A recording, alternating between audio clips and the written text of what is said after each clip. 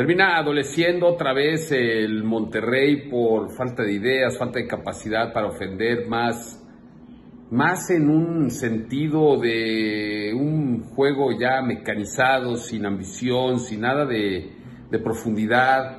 Y pese al, al, mal trabajo, porque ha sido un mal trabajo de, de Ramos Palazuelos otra vez, regresando a pitar al Monterrey, pero ahora afectando de una manera directa, porque me parece que sí hay un penal sobre Rogelio Funes Mori y que ya lo había marcado de primera instancia y que después viene y no tiene el atrevimiento para mantener la decisión, porque cuando lo regañaron en la final por haber hecho muy rápida la revisión al penal que no marcó de la falta sobre, de, sobre Guido Rodríguez de Bangión, y se acuerdan aquella jugada que fue muy rápida la revisión y por eso lo, lo sancionaron en aquella ocasión por cinco partidos de, suspensión, pues me parece que por eso se fue al bar a, pues a estar ahí metido un ratito para justificar que estaba tomando una decisión correcta. El Toluca, sin ser espectacular, pragmático, con, jugando con la desesperación del rival, ha puesto al Monterrey en jaque porque ha ganado tres puntos de lo que va el torneo. 24 puntos han disputado, y de los cuales ha ganado únicamente tres malditos puntos el equipo de los Rayados de Monterrey. Está prácticamente eliminado el campeón. Yo no creo que un equipo con la nómina que tiene, con la inversión que tiene, con lo que ha venido siendo los últimos tiempos en la contratación de futbolistas y con la idea de agradar, de penetrar en un mercado mm, tanto nacional como extranjero, como lo hacen muy bien con lo que lograron el Mundial de Clubes, con el campeonato que tienen en diciembre, con todo lo que ha representado este último tiempo el Monterrey, se conforme con una Copa MX, eh, que va a jugar la, la, semifinal entre la próxima semana, me parecería muy poco ambicioso de un proyecto caro, de un proyecto que tiene muchísimo, eh, pero muchísimo para, para dar. No creo que sea el potencial del Monterrey el que se está mostrando en estos tiempos en la Liga MX. Y la realidad es que pues han decepcionado y han decepcionado de una manera brutal. Ese es el Monterrey actual, el Monterrey que hoy está siendo cuestionado por la prensa nacional, porque la prensa regia es muy,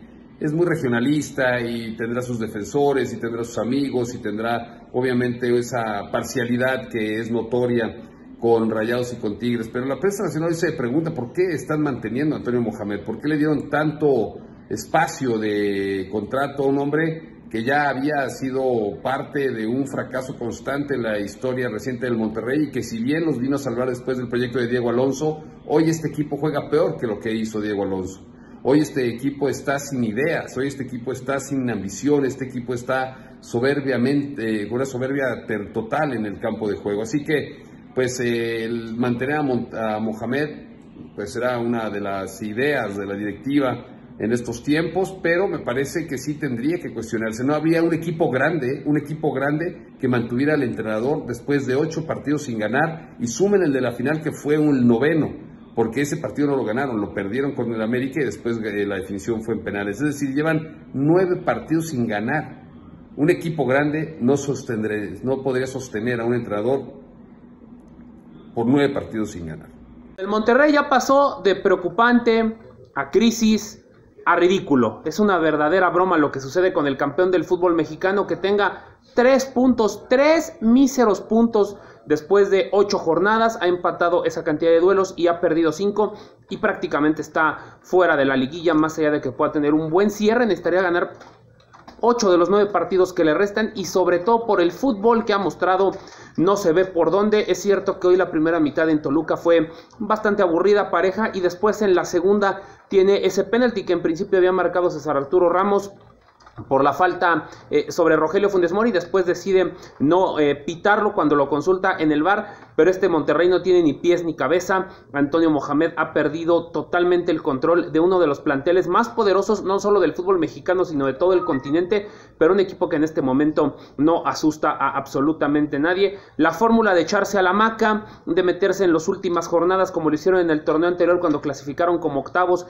y resultaron campeones del fútbol mexicano, esta vez no servirá a los rayados porque el tiempo se les ha venido ya encima. Es, insisto, muy muy complicado que clasifiquen a la liguilla y está están muy cerca de ser el eh, campeón más eh, lamentable en la historia de los torneos cortos, el que tenga un peor desempeño en el siguiente torneo después de haber obtenido el título de liga, lo del Monterrey, una auténtica vergüenza, una demostración de un plantel que es cierto que consiguió el título, pero que no es un equipo grande, que no tiene la presión de ganar cada seis meses, porque lograron el título y después bienvenida a la flojera, porque eso es lo que está pasando con este Monterrey, a diferencia de lo que podría ocurrir con el América, con el Guadalajara, con los Pumas y hasta con el Cruz Azul, que seguramente ya se le olvidó lo que es ser campeón, pero si después de lograr el título seguiría con esa misma exigencia, lo que no ocurre con este Monterrey, que es una auténtica piltrafa de campeón.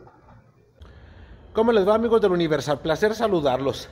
Ridículo el papelón que está haciendo el conjunto de Rayados de Monterrey. Tres puntos de 24 disputados, una de las nóminas más importantes de la Liga MX, que a final de cuentas pues queda ahí con un fútbol gris no se le ve idea futbolística, las individualidades están perdidas en el conjunto regio y la excepción para la directiva con una inversión, una nómina de las más poderosas de la Liga MX que seguramente tomarán cartas en el asunto. Es eh, un fútbol que no se le encuentra ni pies ni cabeza y ante un equipo como Toluca que sobrellevó el partido y lo hizo a la forma de José Manuel de la Torre y también sus dirigidos, saben a lo que juegan o tuvieron sus tres puntos de oro, pero sin lugar a dudas, una de las decepciones más grandes que ha tenido la Liga MX hasta el momento. Adiós Monterrey, puede ir planeando el torneo que entra porque quien crea que puede lograr el milagro de calificar, pues tendrá que embalarse y conseguir victorias de hasta que termine el torneo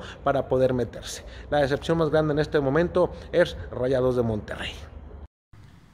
Los tres puntos que tiene después de los 24 que ha disputado el Monterrey en esta clausura 2020 no son más que el reflejo de la falta de contundencia del equipo de Antonio Mohamed. Y es que aunque pareciera que con esa pobre suma de unidades este equipo no genera, no juega de manera ofensiva, no, no tiene esta capacidad ¿no? de llegar al área rival, pues no resulta que es todo lo contrario. O sea, Monterrey es uno de los equipos que más remates tiene en esta estadística a lo largo del torneo, que más remates a puerta también tiene en este torneo, que más centros al área rival ha mandado en este torneo, pero no tiene gol.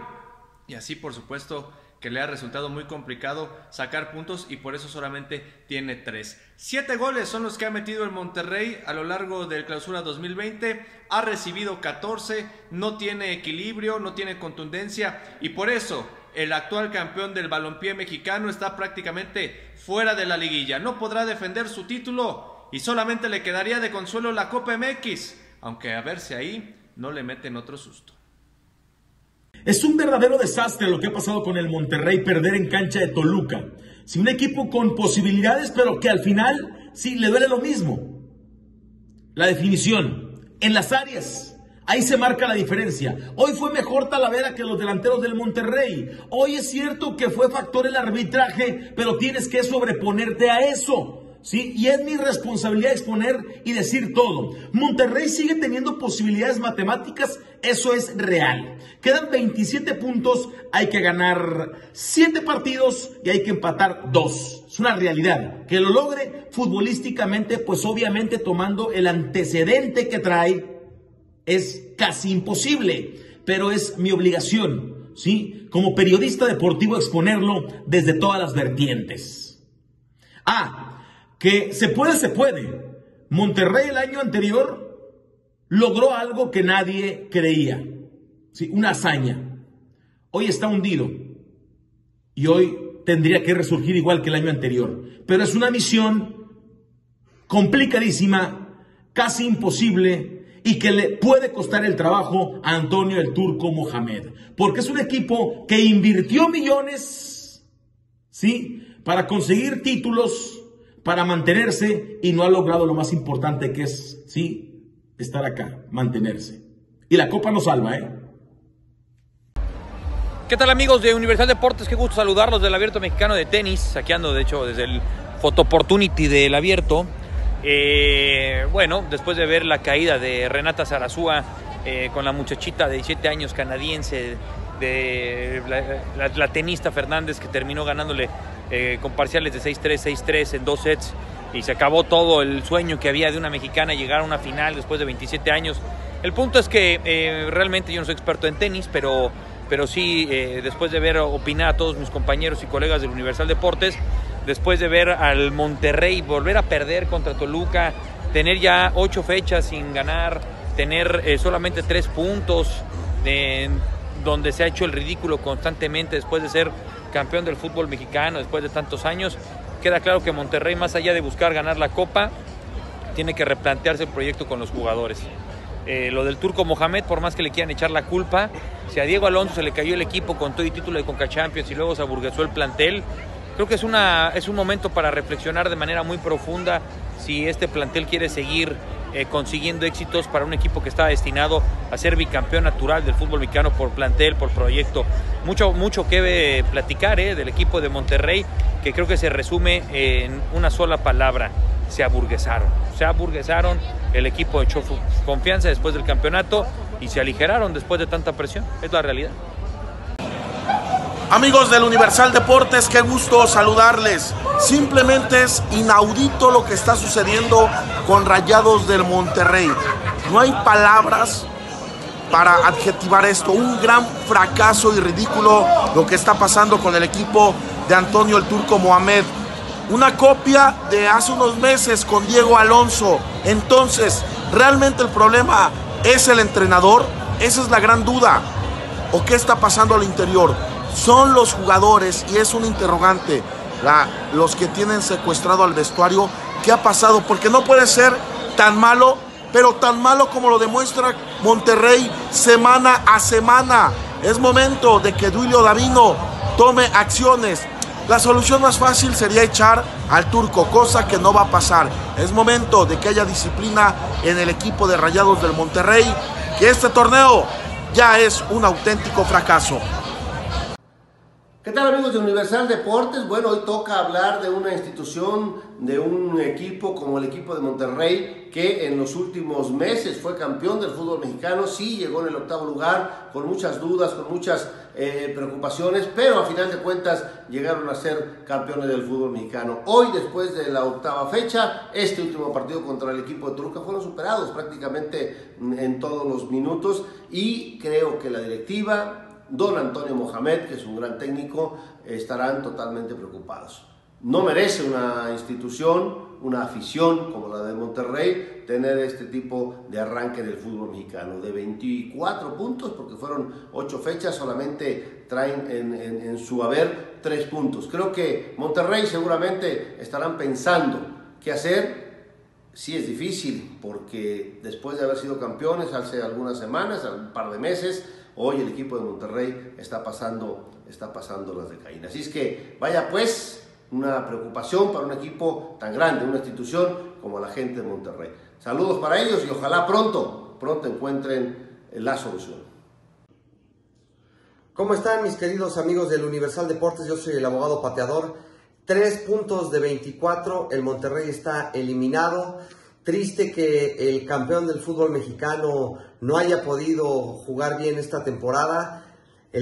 como dicen por ahí, la campeonitis se ha extendido. No sé si sea el peor campeón o no, pero es triste ver a este equipo de, de Monterrey, del Turco Mohamed, que para mí es un, es un gran equipo con grandes individualidades, con un presupuesto bastante amplio y hoy únicamente con tres puntos ha tenido llegada pero creo que les ha faltado contundencia.